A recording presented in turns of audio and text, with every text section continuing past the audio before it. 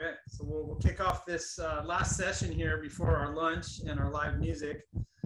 Um, and I, I just want to introduce uh, Kelly for you because Alan uh, Tollefson is not able to make it. Um, and uh, he's, he's off uh, at other important meetings, but um, I wanted to, to, at least thank Kelly for, for being here. She's our Vice Chancellor, um, as it says there, uh, for our administrative unit on campus. And lot of people ask us how we're able to do so much at UC Davis um, in this energy world. And um, really, Kelly's the answer to that question. She's uh, very supportive of everything we're doing. She gets it in terms of our, our carbon goals. Um, and she's willing to uh, you know to support us when we're, we're we, we want to try something new and different. And so um, she's going to be talking about that. This was Eric's Eric Eberhardt's idea actually is to hear from Kelly herself on uh, on how we were able to do some of the things that we've done, and hopefully give you guys at other campuses um, some idea of what you can also try to do at your campuses. And I think there'll be a, a, a good uh, time here at the end of her talk for for Q and A. So I'm sure we'll get some good questions for her as well. So with that, I want to turn it over to Kelly and, and really thank her for taking time to uh, present to us today. Thanks, Josh. Um, I'll you can go ahead and go to the next slide. I'll uh, I'll actually. Do you want do you want me to do the slides? Yeah, well, I'm prepared. Yeah, that's perfect. All right, I was. I think Ali had the intro up there. Great. Um, yeah, I'm going to give Josh a lot of the uh-oh. There we go. A lot of the credit for um, how these things get done, not not me. It's hard to tell. It's hard to tell Josh no. Um, all right, so we've got a, a couple topics, and uh, the way my screen's set now, it looks like I can see a little bit of the chat and Q and A, but but we'll have time to go through a few slides and then um, do some engagement. I hear you guys have been having some really good discussion. So um, so here, let's just kick off with what are some of the common complaints and excuses um, that you hear from folks like me um, that we don't have enough uh, funding for an energy team, that these things are way too expensive, um, and that you know doing something like electrifying an entire campus is impossible. Um, so you spend a little bit of time with with Josh and a few folks here um, from our from our campus, and you give it some thought and, you know, some of the uh, answers seem obvious, and we'll go into a little bit more detail here. Um, but of course, you can find money for an energy team. All these things are always a, a, a matter of priority. And so I want to walk you through some of the some of the case statements um, we used to do this. Um, and of course, um, not converting to hot water is even more expensive. Our, our SEAM infrastructure at UC Davis is quite old and and really the the key to to getting this done has been having a really good master plan and trying to sort of tackle this um, one bit at a time so i wanted to spend a little bit of time talking about the energy team piece and then we'll do a little bit on our conversion um, from hot water to uh, from steam to hot water oh there you go i just did my my next slide all right so first, let's let's talk some about you know. So you want an energy team. Um, this this graphic here and and all these things are available, and I'm sure my colleagues can put the the the links in the in the chat. But you know this this is just uh, an energy map at UC Davis and something that Josh and the team were able to put together. You know that shows some of the relative scale of energy use and helps us identify the opportunities because in the end this this all becomes a sort of a cost benefit we know we want to do it we know we need to do it um, but it's sometimes hard to get to that decision to actually spend the money until you can see some of the see some of the data and the outputs so really we started we we talk a lot about low hanging fruit um, and if you're a campus like ours you actually have some because you have these old buildings um, and there's some simple things you can do we did a lot of work up front metering and getting things on systems so that we would have the data. And then moving forward, um, we were able to identify and have delivered on a lot of savings. And so this this chart, um, you know, Josh and his team put this together. So the sorts of things we did, we we commissioned our lab buildings. You can save 25 to 100,000 per building. it's a it's a blend of of some one-time savings and but it's mostly ongoing. Once you fix these things, you're in pretty good shape. Um, scheduling for HVAC that matters a lot. It's hard to do when you don't have things on common systems and standards. It's also hard to do if nobody's watching it. Um, and so having somebody on the team who's actually dedicating time on a regular basis to this helps you save. Call it 100K a year. Holidays, um, you know, uh, we used to say it, it's not that much, but when you put it in this blend with everything else and you have the staff available to do it, it's much easier than trying to find folks to come in overtime or something else to sort of manage a holiday shutdown project. We now have a team who's responsible for this. And then, you know, our favorite, uh, fixing the broken stuff. Uh, it turns out we all have a lot of broken stuff. And so this pie chart is trying to sort of identify some of this. And if you have a team of folks going into buildings looking for things, you find the broken stuff. And for the most part, you know, our facilities teams just are so busy responding to broken stuff, we're not out there actively looking for it. And so when you do these things, you you find things, you fix them, um, and this is sort of the the immediate sense of of, of scale at a campus um, like ours. But um, there's going to be ongoing savings also. Just having the team, you know, stuff doesn't just break once; it keeps breaking. So we're out and about finding these sorts of savings all the time. So this this is a scary um, well, this is actually the good chart. The scary chart is the next one. But the gray, the gray bars here are what did it look like for us to build an energy team? And so I'll, I'll, I'll show you the, the who we have in our energy team. But but the goal, the the idea was, you know, we need about a million and a half a year. That's this gray bar. And so we sort of ramped up. We had a little bit of, you know, sort of turnover and calibration. These things happen. And along the way, we're building savings. And like I said, um, some of what we're much of what we're doing is ongoing. So these savings, you know, build in and we keep growing the savings. Um, but we're also tracking on occasion one-time savings in the mix. But you know, the the proposition changes itself. And this is another way to look at that. So this is really, frankly, for somebody who's on the finance side, quite scary. You have to sort of, you know, grit your teeth and say, okay, I get it. We're gonna we're gonna plummet here and then we're to start seeing some of the benefits. And you really have to believe you're going to be able to cross this line. And we're seeing some of that already. Um, we are sort of on, on the uptick here. We have full expectation that we're going to get to this place where we're not only paying for the team, but generating um, net additional savings. It's a 10 year plan, but my goodness, um, what we're up against here is way, way more than a, a 10 year plan. And if you don't start, you'll never get there. And if you wait till all, you have all the money in the bank, you're not going to get there. So this this sort of projection and and you know Josh brought a picture at the beginning. Our budget folks spent some time poking around and digging at it. Um, it's it's mattered and it's and it's let us again recover. This is sort of showing the cumulative expense. We will, I have full confidence, cross the line into the net generation category, which frankly will just help us you know, offset probably some inflation and other costs, but but we will have done everything we needed to, both from carbon neutrality and from just, you know, taking care of the place.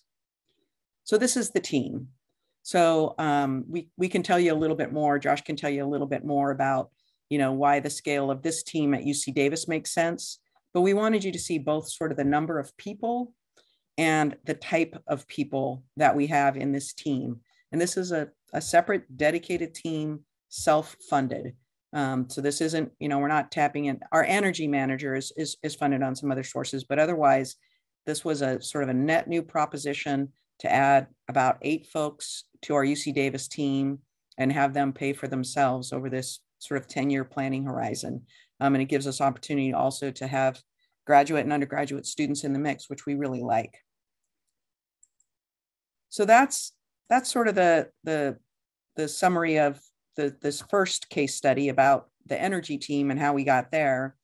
And then I want to talk to you a little bit about um, our big transition, steam to hot water. Again, UC Davis, over 100 years old. I've got a little bit of a schematic in one of the slides about the campus. Aging infrastructure, leaky infrastructure. Um, nothing about steam is helping us get to our carbon neutrality goals. And so, what do you do? Well, the first thing you should do is work with your communication folks and come up with a really clever name. Um, uh, even something that almost could be a curse word is super fun for the folks involved. We have a great video on our Big Shift uh, website that was produced by students, sort of trying to explain what was going to happening.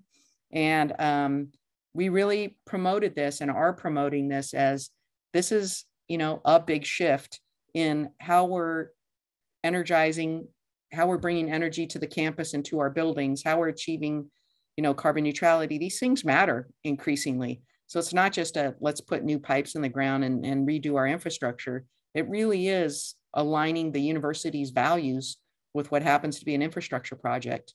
And if you think an infrastructure project can't be cool, hmm, you might be wrong. So we really behind the scenes, and this was something Josh did with a group of students from our uh, graduate school of management, and, and we had some consultant help. Um, we all know we should do it. And in this case, we actually did it. We actually looked at the life cycle cost over a 60 year time horizon. What does it take up front? What are the future capital costs? Um, how are we doing with operations, including carbon? Um, you know, not just a typical balance sheet approach, but we need to include everything. And we ended up looking at five alternatives. Um, I think our number crunchers probably had 100 alternatives and along the way we scaled to you know the 20 that we were sure we had to look at and eventually we got to uh, five and the the five actually here's here's several of uh, the options that we looked at. And again a 60 year net present value um, from the from the bookend that nobody wants to do which is just renew the existing steam system. The the scale here hopefully you all can see this on your screen but it's everything from the capital expenditures here in the in the gray through to um, some of the carbon impacts from gas and electricity um, we ended up sort of zooming in on the recommended solutions here, where we're doing um, a central uh, a central program with um, our heat exchanger. So we'll we'll look at this, but you know, sort of at the highest level again, we looked. At, these are the dollar amounts. This is the scale for the entire campus, and then I mentioned that we're going to sort of take this in pieces. But we did start with this sort of big master plan um, big effort, find the right approach. And then the next thing is having decided this, how do you how do you break it into oh, I'm thinking about my slides out of order.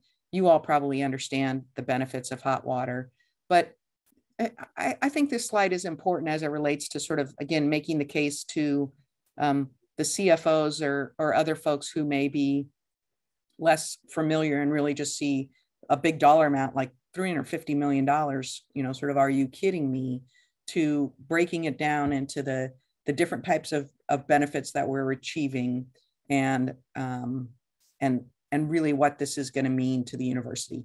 Frankly this is partly the sort of messaging we're using as we explain why the campus is being torn up torn up and it's also important to explain why we're investing at the scale we're investing. All right so did start the big shift. Things are underway. Um, there are massive trenches and pipes. So I highly recommend um, you doing this at the beginning of a global pandemic because it turns out nobody's on your campus. Oh, you probably missed that opportunity, but we were ready to go. And so this was one of our great benefits of the pandemic.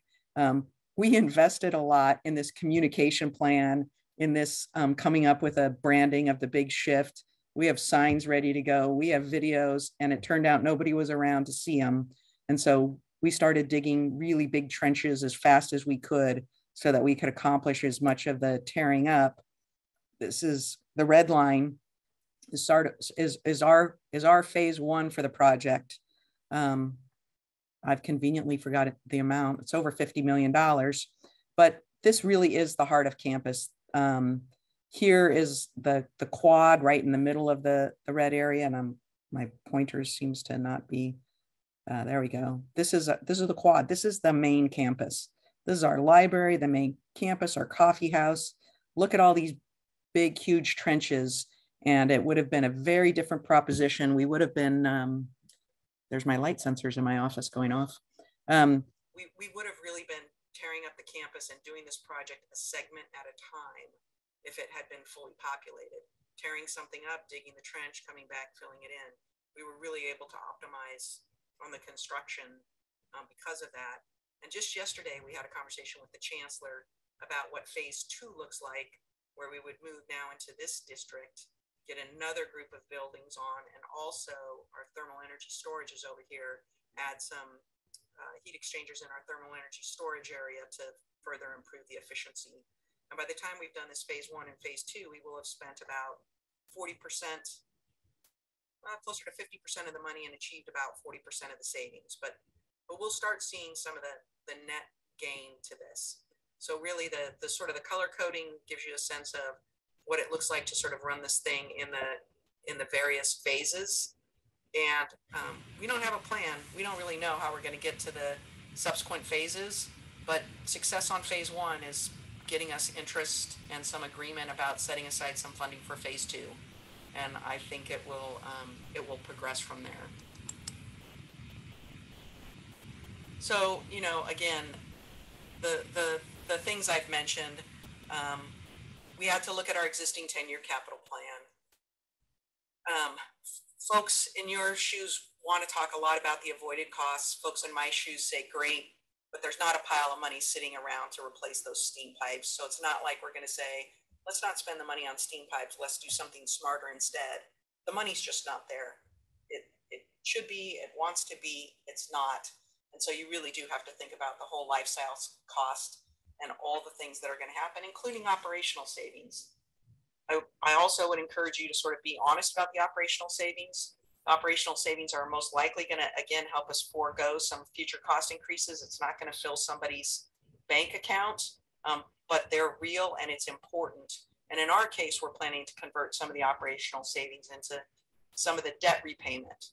We're doing tax exempt bond financing here. Uh, rates are quite favorable in our environments.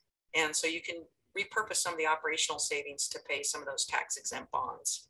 It's not a one for one, um, but it but it gets you it gets you part of the way there. We want to of course talk about carbon goals, and then here's um, Josh's eBay uh, like plug. Um, hand-me-downs may also help. So um, in about five years, this heat exchanger, our heat exchanger, is is likely to need a new home. So I'll encourage you all to uh, bribe Josh uh, if you want to call call dibs on a gently used heat exchanger about five years from now. So that's that's what I had prepared as a formal presentation with a, with a lot of appreciation and and thanks for Josh. And maybe we'll stop share and see what sort of questions we have, or should what should yeah, about, Josh? Yeah, Kelly, that was fantastic. Thank you. Um, that was right on, and and I think hopefully this this addressed. I mean, this was one of our top three uh, topics from the last session. Is people want to hear how to do these type of projects. So I'm hoping this answered some of those questions. Um, that heat exchanger you saw there, we actually got three of them from Stanford for, for a really good price. So we, we just want to pass along the love, uh, hopefully, and that'll uh, that'll motivate us to, to get this, get off of steam completely, because once we are, we won't need those heat exchangers. Um, I, hopefully this these headphones are helping my mic out, but uh, we yeah, are sorry about mine. No, no problem. Um, I, I think everyone could hear you fine. So we're still looking for some questions. We got one that came in. Um, Bruce at, at, UC Berkeley is asking, are there opportunities where leadership, people in your role, Kelly, uh, from different campuses get together and discuss the benefits of an energy team and hot water transition? And I know Bruce has, has reached out to me at this level, and I'm wondering if that happens uh, at your level.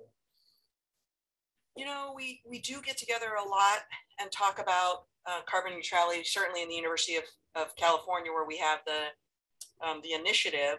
Um, and I'm happy to advocate within UC for other curmudgeonly type CFOs like myself to get together and, and show people we, we, we've been at this a while.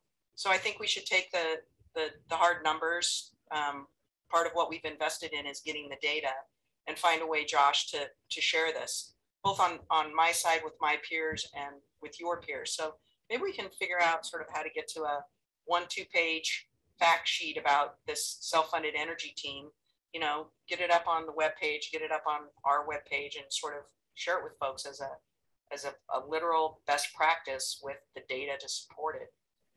Yeah, Ali's calling that the big share. the big share. We need a good name. No, I like that. I know Alan has done some of that with uh, the other uh, facilities leadership um, in terms of partners for performance and other um, groups like that. But I, I, do think we can we can do more along those lines, and that's what this last set session that Eric was running actually was talking about is how to share some of these best practices. Maybe have whether it's forums, uh, you know, uh, sounding boards or, or materials we can distribute, websites we can build. Um, I got a, a, technical question that came in um, about whether we considered an ambient loop system with heat pumps in lieu of, of low temp hot water. Um, and I, I, will say we did look at pretty much everything that could possibly be done as far as uh, how to do district energy on campus as part of that master plan. Um, and we had to work with existing systems and buildings. So we go into low temperature hot water. We actually had to test the buildings that were designed for 180 degrees Fahrenheit heating systems at much lower. We've been running them at 150 to 160 um, ahead of time just to make sure it's going to work. Um, but but that's as low as we're able to go with that. And then as far as putting heat pumps at all the buildings, we did look at that. That was one of those life cycle um, uh, analysis options and with a campus of our size, it, it, got to be too expensive in terms of maintenance and especially electrical infrastructure. Um, but we are doing that in a few locations, and uh, we are the, what Kelly was referring to in terms of heat recovery. We're doing it as a centralized system because we have that chill water system that's pulling heat out of the buildings. We're able to do centralized heat recovery, and that's probably the biggest reason uh, that we're going to this hot water system. Um, another question that came in for you, Kelly, is what were some of the things that helped con convince the decision makers that the life cycle cost of your program was the way to go and be okay? And this is talking to think about maybe our, our uh, energy team and be okay with a 10 year, 10 plus year program before the savings is realized. So you're kind of going out on a limb with our team in terms of investment. Um, what helped convince you and the decision makers? You know, um, and I think uh, Sam's questions is also related. Um, I, you get to put me in the in the category of believer, but I, it has to be the case um, that as we go through climate change and and we have some of the issues that we've been having, that more and more of us need to be believers, and we really do have to look at these things on a on a time scale. It is never going to pay for itself right up front and some of these things um, just need to be done. I will tell you, our chancellor, in fact, our last two chancellors are, are, are both engineers. The, the data and the, the science piece of it matters. Um, we do these life cycle costs and they feel very theoretical. It's really hard to think about something over 60 years. Um, and so the truth is the 60 year thing is, is a bit of the, of course that's true, um, but then you really have to dial it back and think about it, I think, in segments. Finding somebody who's going to sign up for 350 million, that's not going to happen. But our first phase is 50 million, our second phase is 70 million, and starting to project some of those increases. Or on the energy team, 10 years is both a long time and not really that long. But but there is um, there there is a, a bit of believing that's needed. Maybe there's a way to to do a little bit of an initial assessment. we had done some of the building commissioning work early on and picked something big like our library. So we knew some of what the opportunity was. And we had some data points that we could that we could leverage to say, um, this isn't just a pretty graph. We really think this is going to work, and here's why.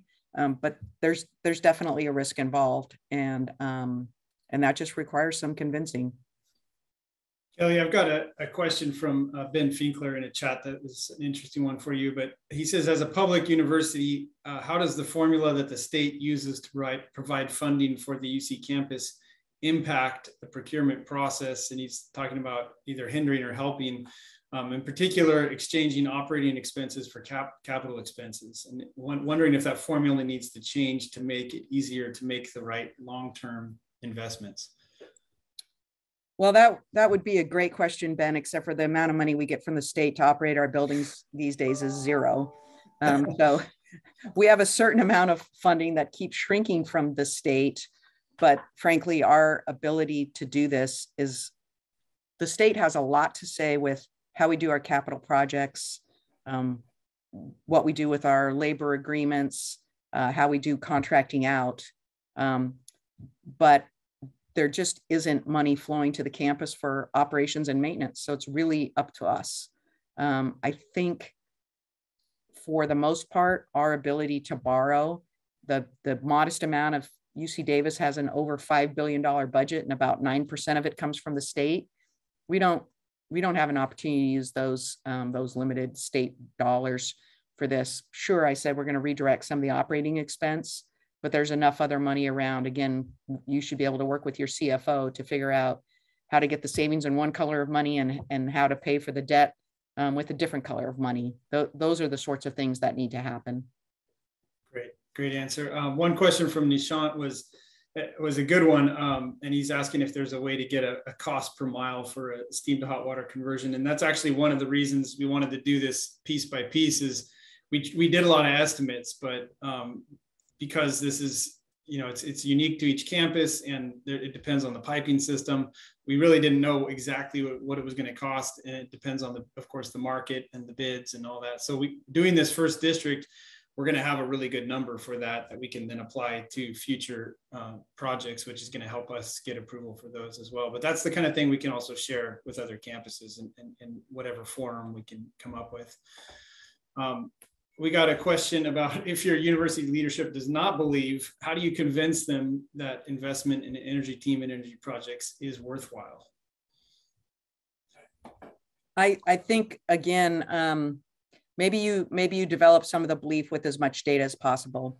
And so if you're not able to get some of the data from your own campus, maybe you're going to go look and we're going to share as much information as we can from from UC Davis. So you can show again as a as a case study here's here's what happened. Here's the age of their buildings. Look they're similar to the age of our buildings.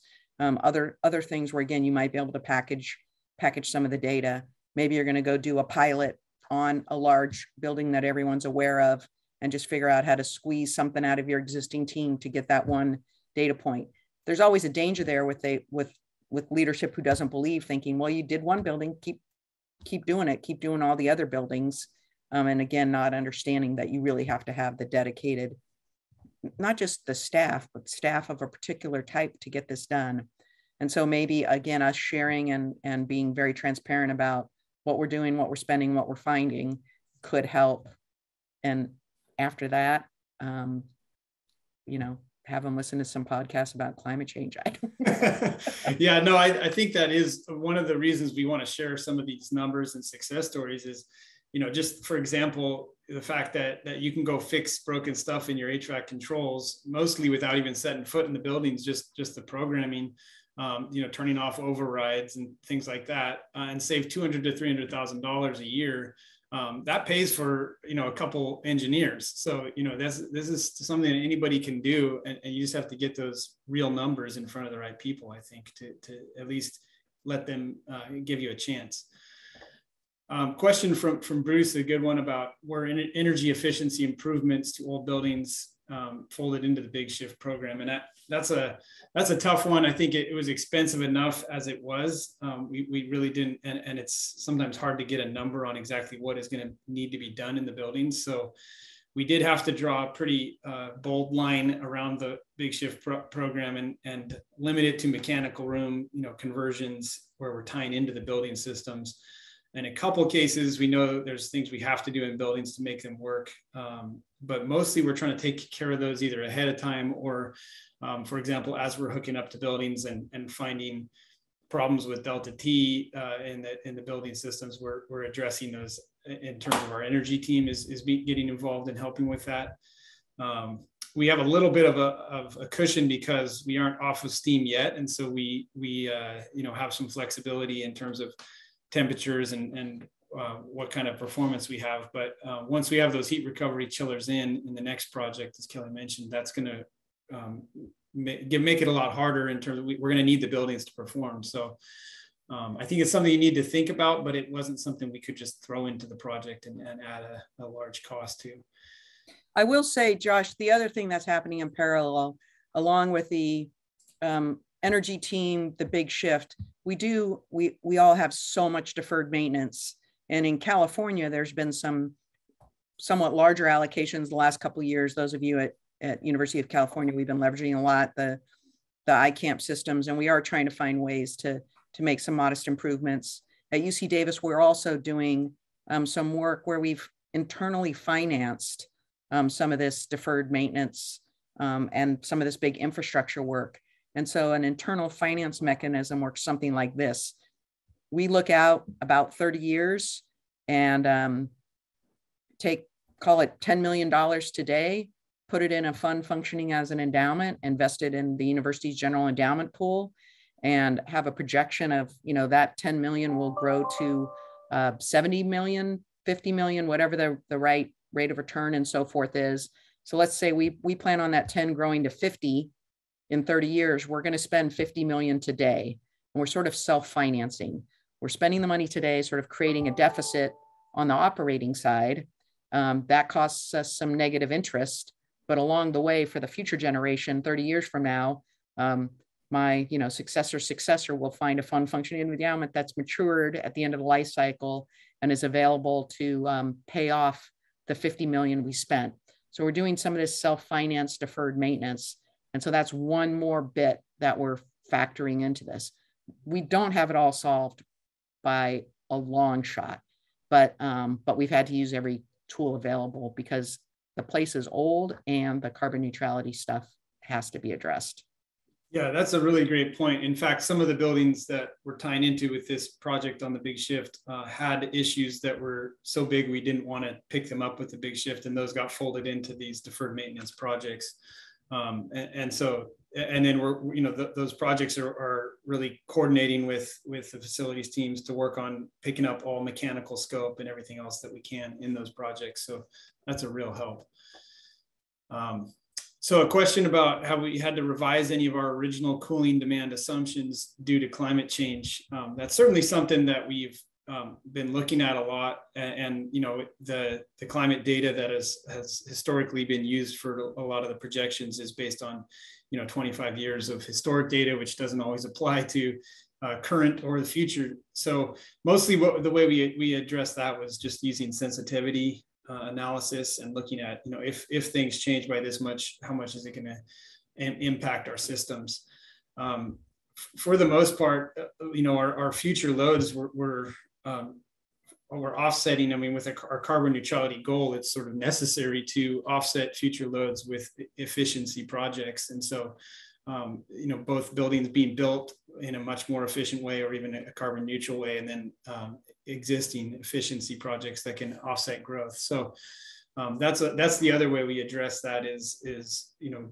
demand overall going down as we as we move forward um, and then there's a question about cost of carbon credits used in future cost justifications. And again that's something that it's hard to put a, a number on. Um, it, there, there is a carbon market, obviously, um, but future numbers are, are can you know vary widely, and so we address that also with sensitivity analysis, um, predicting the range, full range of what that might be in the future, and that actually you know is it, it was a key part of the the analysis for the life cycle costs, um, and it didn't actually impact the choices we made significantly because um, whether it's you know $15 or $50 um, it, it, really didn't change the ultimate decision um, that it was the right choice to go to to hot water and use heat recovery things like that.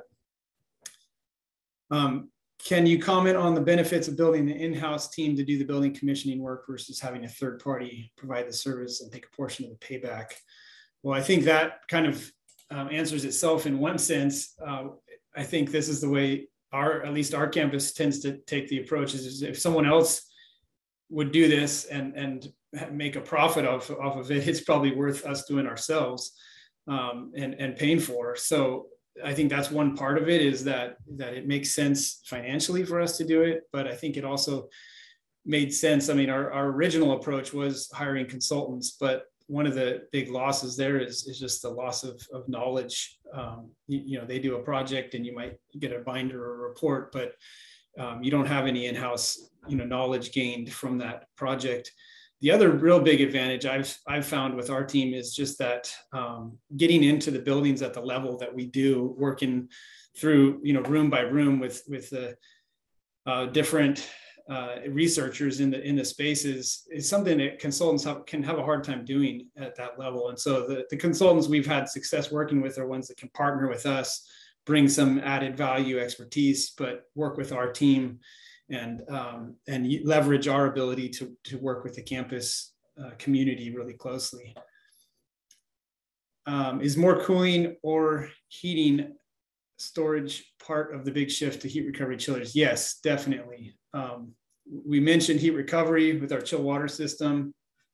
And I think that is, is really key is we're going to be able to, to get about 40 to 50% of our annual heating load from heat recovered from our cooling system. So we're, we're collecting this heat from the buildings to cool them off because we're able to then store that we're gonna we're gonna run that through the heat recovery chillers make hot water that we can store and in our climate, we have a really significant uh, diurnal cycle in terms of temperature. So we're able to, for example, do heating at night and cooling during the day uh, pretty much year round. And that enables us to, you know, store our, our heat during the day as we're doing the cooling and then use it at night.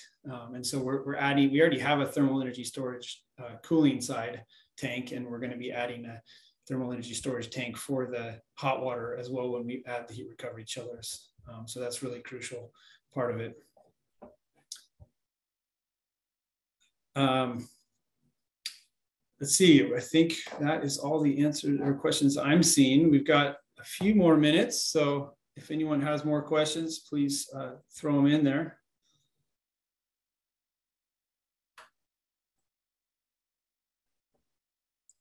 The question might be, can we start lunch early? Yeah. and the answer is yes. Uh, we can do that. But uh, I do want to thank you, Kelly. That's really great to have you come and it's, you know, it's not the same when, when uh, me or even Alan talks about it and says what you would have said. It's a lot better hearing it from you yourself. So we really appreciate you taking the time to do that. Thanks for including me.